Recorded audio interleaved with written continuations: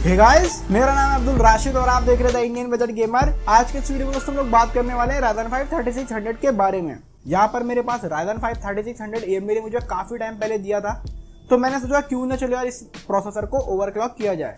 क्योंकि ये प्रोसेसर एक ऐसा प्रोसेसर है ना, जो कि बजट सेगमेंट में भी आता है और काफ़ी इंडियन मार्केट में पॉपुलर होने वाला है। और बड़ी बात नहीं होगी, हो सकता हो आप में से भी कई लोगों ने इस प्रोसेसर बेस पर पीसी बिल्ड किया हो। तो यहाँ पर मैंने इस वीडियो को बनाने के लिए अपने पुराना वाला पीसी जिसमें कि राजन फाइव था, उसको पूरा का पूरा अपग्रेड कर लिया है। और यहाँ पर इस बिल्ड में जो मैंने मदरबोर्ड लिया है, वो लिया है एमएसआई का MAG X five seventy motherboard processor मैंने यहाँ पर लिया, वो लिया है Ryzen five thirty six hundred और जो कूलर स्टॉक ना लेने के बजाय वाटर कूल्ड मतलब कूलर लिया हुआ है, ताकि जो यहाँ पर हमें परफॉर्मेंस और रिज़ल्ट मिले, वो बेस्ट ऑफ़ बेस्ट हो।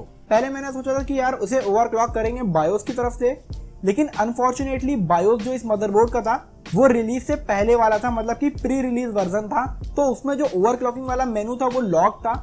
पता नहीं ऐसा क्यों था, मैंने एमएसआई से बात करी, उन्होंने बोला, हो सकता हो प्री रिलीज़ बायोस आपको मिला था बायोस अपडेट करने के बाद उसमें फिक्स हो जाएगा। फिर मैंने सोचा, क्यों ना चलो यार, इसे विंडोज़ के अंदर से ही ओवर क्लॉक किया जाए। और ये वीडियो जो होगी, वो एक यूनिवर्सल मेथड होगा।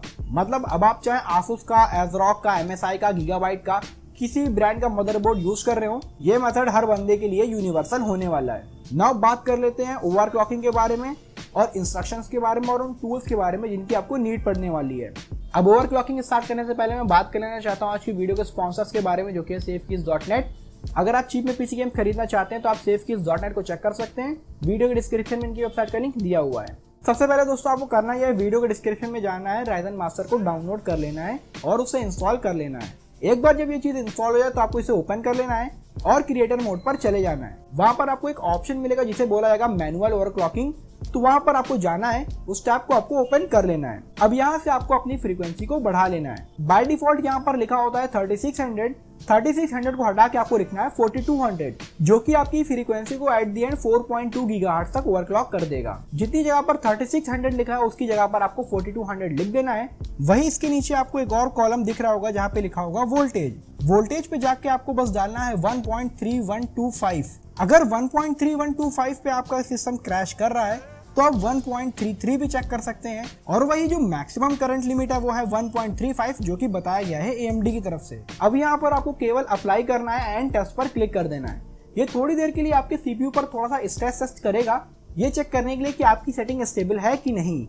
अब मेरा सिस्टम यहाँ पर स्टेबल चल रहा है 1.3125 पे 4.2 गीगाहर्ट्ज पे। अब इस चीज़ को वेरीफाई करने के लिए आपके सिस्टम पे ओवरक्लॉकिंग हुई है कि नहीं आपको डाउनलोड करना पड़ेगा सिनीबेंच आर फिफ्टीन आप आर ट्वेंटी भी डाउनलोड कर सकते हैं, कोई इशू की बात नहीं है। अब आपको यहाँ पर सीपीयू टेस्ट करना है, जो कि एक तरीके का बेंचमार्किंग टूल है। एक बार जब ये कंप्लीट हो जाए तो आपको डाउनलोड कर लेना है आइडा 64 आइडा 64 बेसिकली मैं इसलिए डाउनलोड करवा रहा हूँ आपसे, ताकि आप अपने सिस्टम की स्टेबिलिटी और टेम्परेचर को मॉनिटर कर सकें। आइडा सी फोर से आपको बस केवल पाँच मिनट का स्ट्रेस टेस्ट चलाना है। ये एप्लीकेशन बेसिकली आपको कंफर्म करा देगा कि आपका सिस्टम जो है वो काफ़ी स्टेबल है।